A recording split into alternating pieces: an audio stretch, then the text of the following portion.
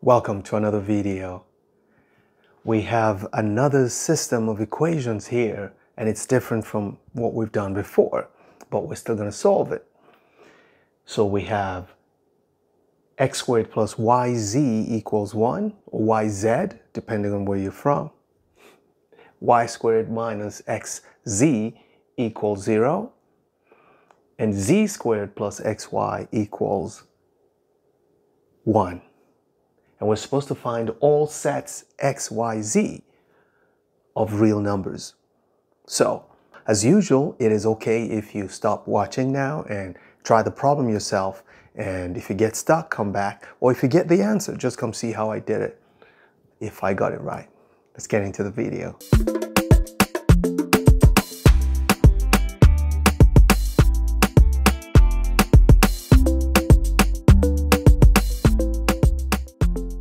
So this is how I'm going to solve it. My strategy is to consider the first and the third equations. They look quite similar.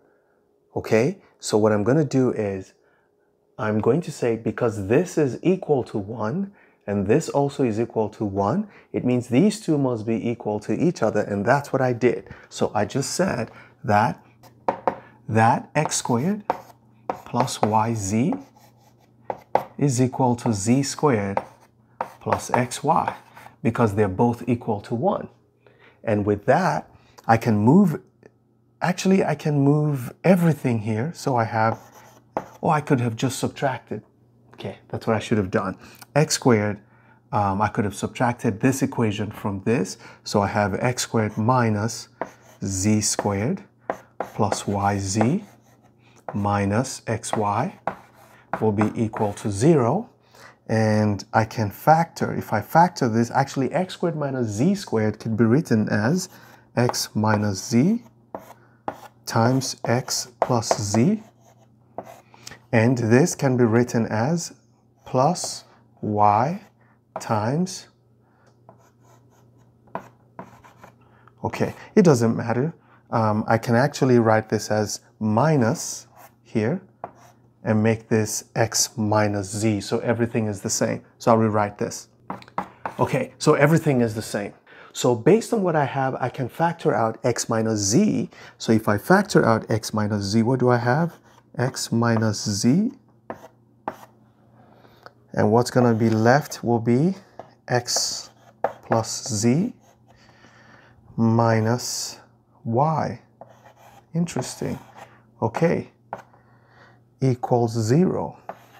So what I have is x minus z times x plus z minus y is equal to 0. Interesting. So now I have the product. Remember the zero product property means when two things multiply to give you 0, it is either this is zero or this is zero. So we're going to have two cases. So the first case, case one, case one is that x minus z is equal to zero. And what does that imply? x equals z. Hmm. Okay, so this is the first case. We're going to have a case where x is equal to z. We have to go and check everything we just found here. So let's go back to the original equation and find the situation. Let's go here.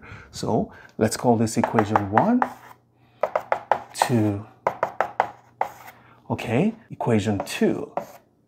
Okay, so from equation 2, we know that y squared minus xz is equal to 0.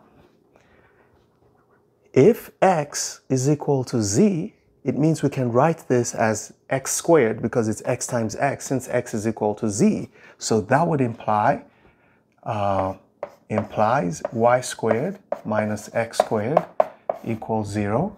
And what does this mean? This means x equals y or x equals minus y. Okay, they have to be either equal to the, uh, each other or their signs are just different. You know, we can say that y squared equals x squared, which implies y will be equal to plus or minus x. That's it. Plus or minus y equals plus or minus x if you take the square root of both sides. Okay, now, so remember the claim we're saying when x is equal to z, x is y equals x or y equals minus x. Just one sign is going to be different. But one thing we know is x and z will be the same. So this means that if x equals z and y equals x, it means that x, x, x is a solution. This means that x, x, x, or if we take the option of a negative, x, y will be negative x, negative x, and x, because x and z have to be the same, okay, um, is a solution.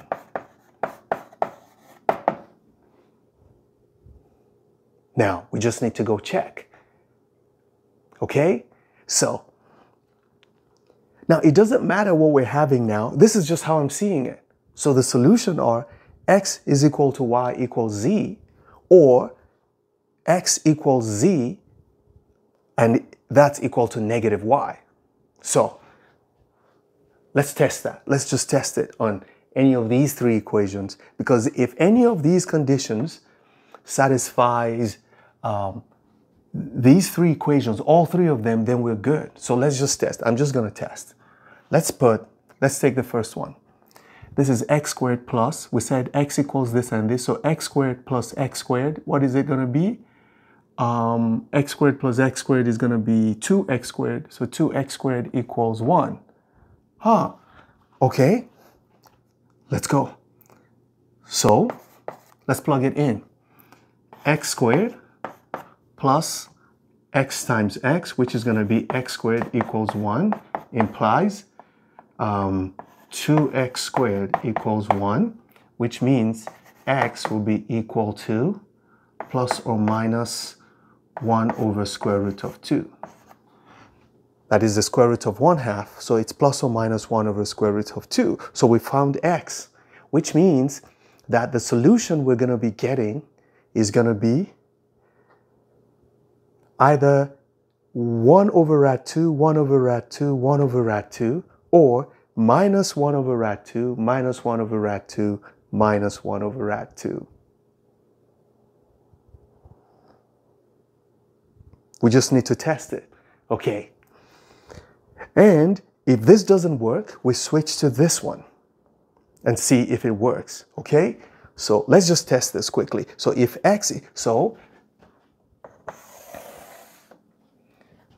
then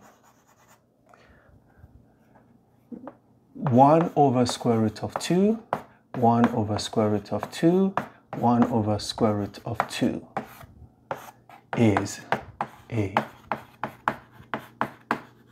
is a solution with a question mark. Okay, I need to go test it. So let's plug in 1 over square root of 2 here. 1 over square or square root of half. What is square root of half squared? That's 1 half. 1 half plus, this is going to be 1 half 2. 1 half plus 1 half equals 1. Perfect. This is going to be the same thing. 1 half minus 1 half equals 0. Perfect. This and this are exactly the same thing. So it looks like this is a valid solution. Okay, now let's try the negative version of it. If we have this to be negative 1 half squared, it's going to be negative square root of 1 half squared. Oh, or, okay, is a solution. Okay, if we do the same thing, negative 1 over square root of 2 satisfies this. If you do the same thing, this is going to be 1 half plus 1 half, 1. 1 half minus 1 half, 0. The same thing. So these two, this is actually true. Okay, now we need to check this one out. We want a situation where x and z are the same, but y is the negative of x. So we're going to go test it in where? Let's try it here. So here we're going to have, we said this is negative of x, so we have negative x squared minus x and z are the same, minus x squared equals 0. So this gives us x squared minus x squared equals 0. Okay, it works. It works for the middle equation, which is the one I think I want to test first. Now let's go to the first equation, or maybe the third one. It doesn't matter.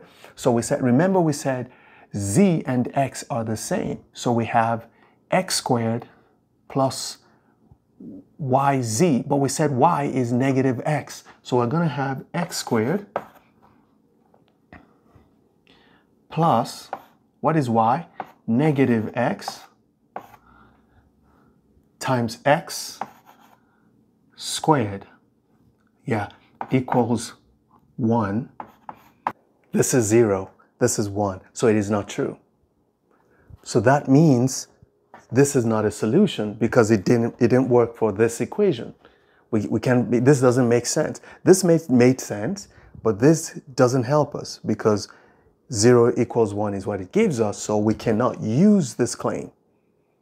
Remember that these two claims came from the fact that we solved just this part. We still need to go solve this part in case there's a nice solution that shows up. Remember that as soon as you find one of the equations giving you something nonsensical, you don't have to do any other work. You just have to walk away from it. Okay? And that's what I discovered when I tried to solve this. So let's go here. So suppose that x, now case two, we have x plus z minus y is equal to zero. Is it possible for x plus z minus y to be equal to zero? Well, from here, we can see this implies that y is equal to x plus z. So what we're going to do is we're going to go plug it in somewhere here. So from equation 2, from equation 2, we know that y squared is going to be x plus z squared, x plus z squared minus xz is equal to 0. So now, you, is, it, is this possible? That's the only question. Is it possible that the square of a sum, the square of a sum, is it ever possible that the square of a sum is equal to the product?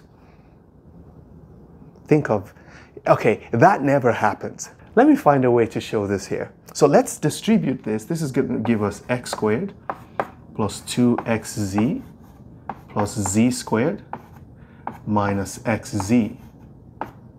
Okay? I had to clean up the board because I needed to show why this one will not give us any valid answer. It's a little bit technical and I needed more space. So I've copied the answers to this part of the board and let's finish this up. If we clean this up, we have x squared. So we have 2xz minus xz. So we have plus z squared plus xz is equal to 0. So this equation is naturally not valid for real numbers. Now I just want to show you, let's paint a better picture of it. Want to show that for all reals, x squared plus z squared plus xz is never equal to zero. Because once we can show it for this, then it means we don't need to care about it. The answer will not be real. And we're looking for real solutions. So how do we show this? Well, I'm going to move this over to this side and say x squared plus z squared equals negative xz. Right? Firstly, let's ignore this minus. If x and z have the same sign, say they have, um, they're both positive or they're both negative, then the right hand side will be negative, the left hand side will be positive. Fundamental theorem of, of arithmetic says that is impossible. You can have a, a positive number being equal to a negative number. So this will never happen if x and z are both positive or if they're both negative. So we just say not true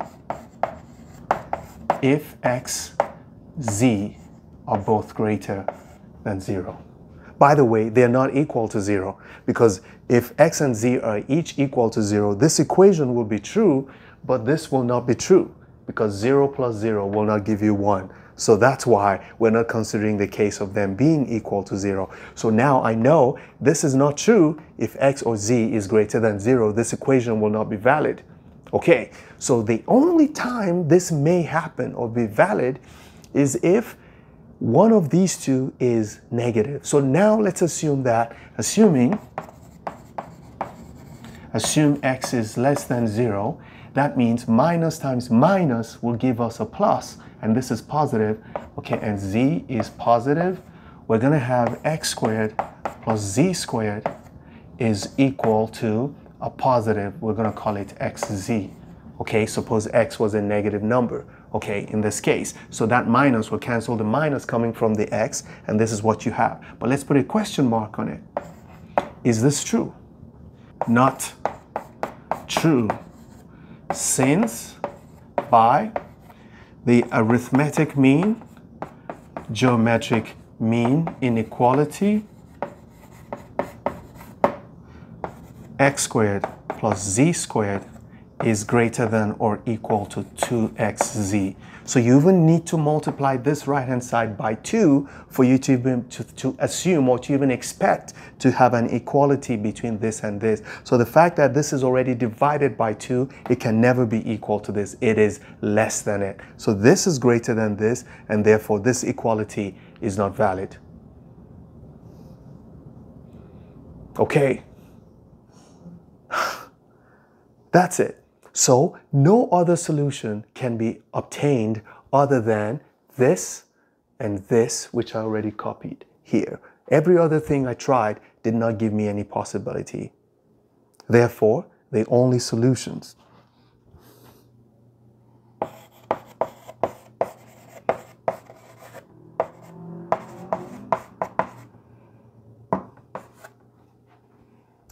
Leave a comment in the comment section.